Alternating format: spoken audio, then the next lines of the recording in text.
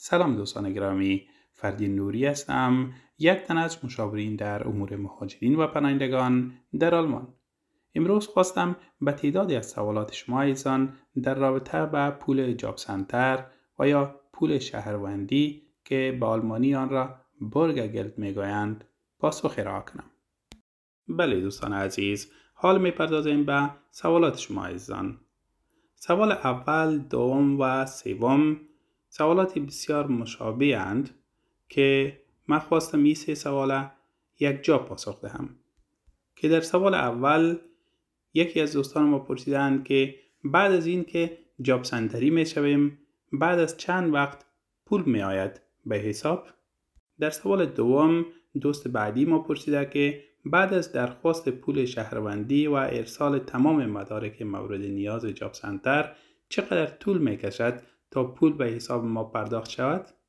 و در سوال سوم دوست دیگر ما پرسیدند که من در جاب سنتر ثبت نام کردم. دیگه برگه که به خاطر پول از داد گفت پر کن. یک ماه بعد دیگه به خیر حوصله بی خورده آیدی کارت میتبرم حالا بعد از اینکه این فرم پول را پر کنم چقدر وقت بعد پولم میآید؟ میگن دو یا سه هفته بعد است. اما به فامیلی میگن زود میآید. و مجرد چهار پنج ماه بعد آیا این راست است؟ در پاسخ به سوالات شما دوستان عزیز باید گفت که بعد از اینکه شما فرم های درخواست پول Jobcenter را که مطابق به قانون جدید آلمان پول شهروندی و یا Geld نامیده می شود خانه پوری کرده و مدارک مورد نیاز را نیز برایشان میفرستید معمولا از یک تا دو هفته را در بر می‌گیرد تا مدارک شما را بررسی کرده و یک پاسخی در مورد درخواست شما بفرستند و در این قسمت از نظر زمان بررسی درخواست فرق بین افراد مجرد و متحل و یا فامیلدار وجود ندارد. و جاب سنتر پول شما را معمولا در اخیر همان ماهی که درخواست داده اید در حساب بانکیتان باید بفرستد. اگرچه پول را در حسابتان در اخیر ماه میفرستند ولی پول برایتان از شروع همان ماه و یا از شروع همان ماهی که شما درخواست داده اید حساب شده و به شما پرداخته می شود. ولی قابل یادآوری است که نظر به حجم کاری کارمند مسئول پرونده ایتان در جاب سنتر ممکن ایشان کار شما را حتی در کمتر از دو و یا یک هفته انجام دهد و یا بعض اوقات ممکن حتی چندین هفته را در برگیرد. اگر در جریان یک و یا دو هفته کدام پاسخی از آنها در مورد درخواستتان نگرفتید شما می توانید با آنها در تماس شوید و در مورد بپرسید که چی وقت از آنها یک پاسخی به دست می آورید و چی وقت پول را در حسابتان می فرستند. و اگر کدام مدرک شما کم باشد کارمند مسئول شما در Jobcenter در مورد برای شما همچنان می گوید. اگر شما قبل از دادن این درخواست از اداره Sozial حقوقتان را به دست می آوردید اداره Sozial تان مکلف است که تا زمانی که شما از Jobcenter پول به دست بیاورید حقوقتان را بپردازد.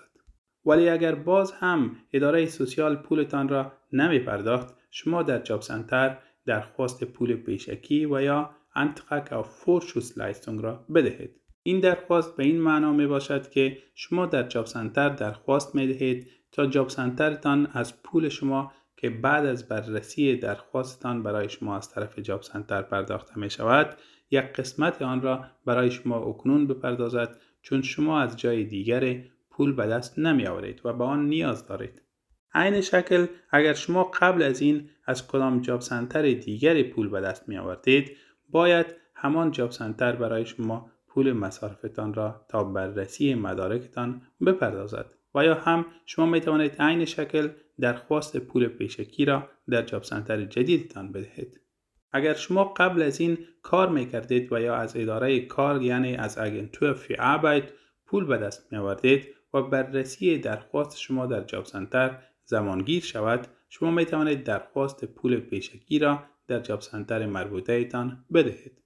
قابل یادآوری است که در صورتی که در قسمت دادن درخواست Jobcenter و دادن درخواست پول پیشکی Jobcenter به همکاری نیاز داشته باشید می توانید به یکی از دفاتر مشوره دهی برای پناهندگان مانند دفتر کاریتاس، دیاکونی، او، دیارکا و یا بیارکا مراجعه کنید.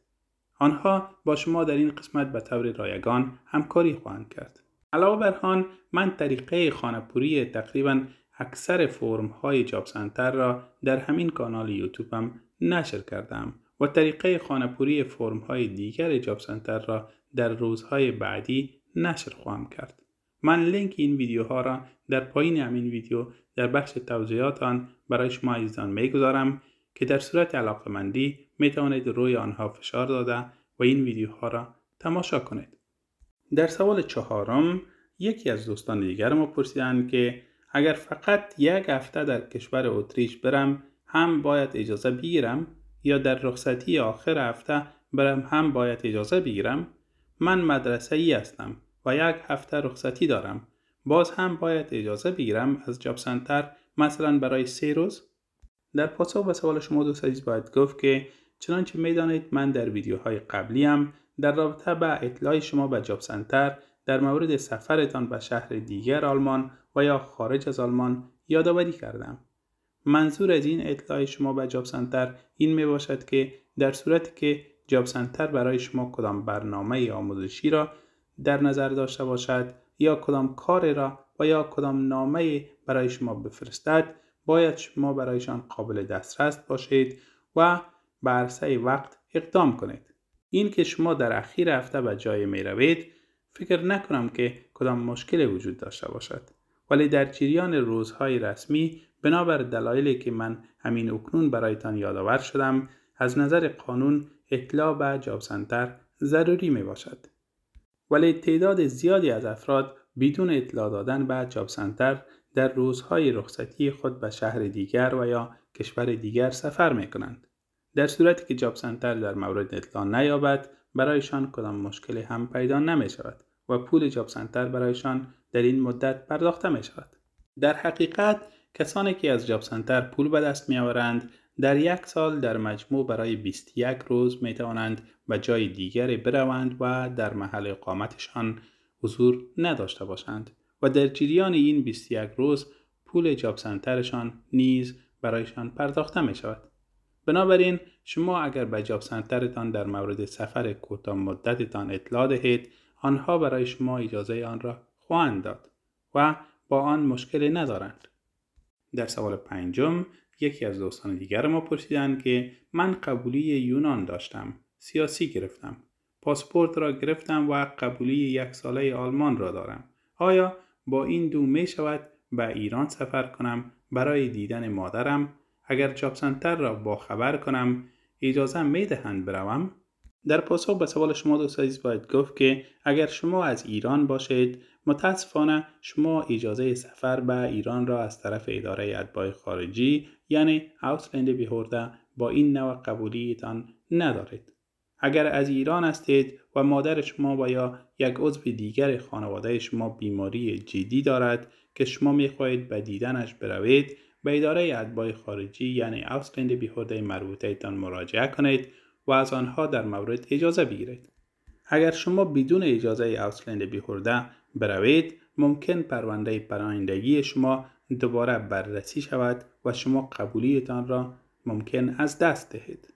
قابل یادآوری است که در صورتی که شما از جاب سنتر پول به دست میآورید در کنار اجازه اوسلند بیهورده شما باید به جاب سنتر نیز در مورد اطلاع دهید و اجازه آنها را نیز در مورد سفرتان به ایران به دست بیاورید. ولی در صورتی که شما از افغانستان هستید و یا از کدام کشور دیگر غیر از ایران شما اجازه رفتن به ایران را از طرف اوسلند بیهورده دارید. ولی تنها باید به جاب سنتر در مورد اطلاع دهید و اجازه جاب سنتر را در مورد سفرتان به ایران به دست بیاورید. و چنانچه قبلا یادآوری نمودم شما تا 21 روز سفرتان در سال می توانید حقوق جاب سنترتان را نیز به دست بیاورید. در سوال ششم یکی از دوستان دیگر ما پرسیدند که من کار می کنم فقط 7 ساعت ولی حقوقم کم است. خانه گرفتن نمی‌تونم.